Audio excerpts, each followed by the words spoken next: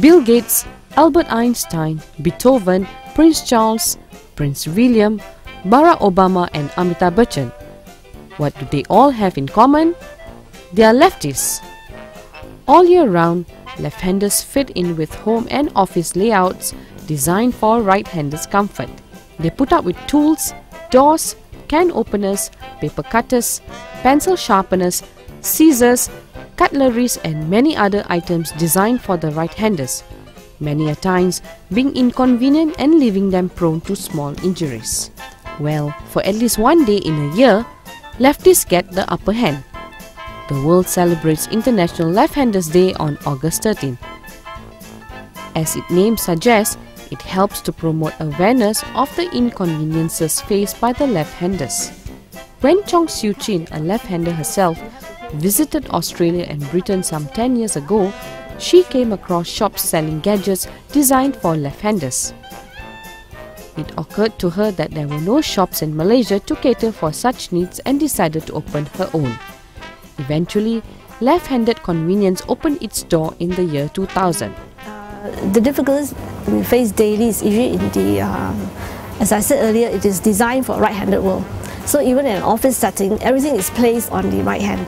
Even photocopier machines, the, the control panel is always on the right hand. Even for paper cutters, it's always used on the right hand. You can't use with the left hand, it's very dangerous. And uh, even things like doorknobs, windows, when you open windows, all with the right hand use. So when the left-hander uses it, it's a bit clumsy sometimes.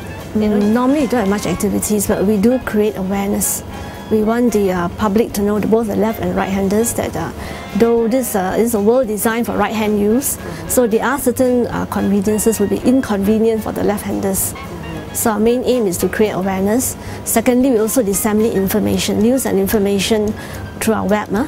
And last time we used to do it on the mailing list, but now we find it's much better, we reach a wider market, wider target on the web instead. And thirdly, we also introduce to them the availability of our left-handed items. When a left-hander draws a line, they normally draw from right to left, so they can now see the numberings. And it's not blocked by their hands. Because if it's a right-handed scissors, uh, sorry, right-handed ruler, it goes this way. So I can't see the numbers, my, my palm is actually blocking it. This one is uh, left-handed scissors. The blade is on the right side. So in other words, uh, when I cut, I can see the cutting line. A right-handed scissors, the blade is on this end. So for left-handed, they always turn the scissors this way to cut. But with this left-handed scissors, I can see the line, I can just cut it. Then these are grips, pencil grips.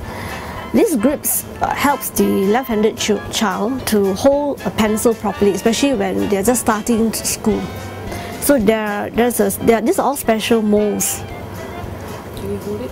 Yeah, special mold. So this is this is for the thumb. There's an L here. It shows it is for the thumb to place, and the second and third finger goes below. So it's uh, it's very comfortable.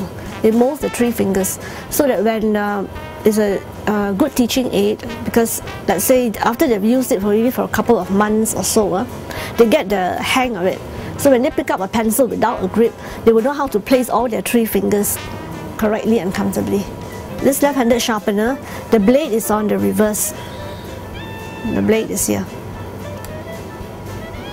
So I can put in the pencil and I can sharpen it. Goes anti-clockwise movement. A right-handed sharpener will be on this side. And so then the left-handed will not hold the pencil with the right hand. So when they try to sharpen, it goes against the flow. Um, this is a left-handed can opener.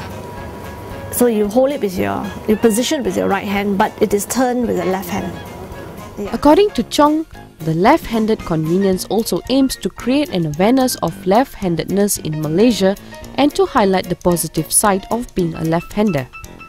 It also offers a membership program and over 400 lefties are currently on its mailing list. Well, I think uh, left-handers should celebrate their left-handedness and not be ashamed because a lot of left-handers will say, oh, I'm left-handed and then they just keep quiet, you know. But rather that it is a positive thing to be a left-handed.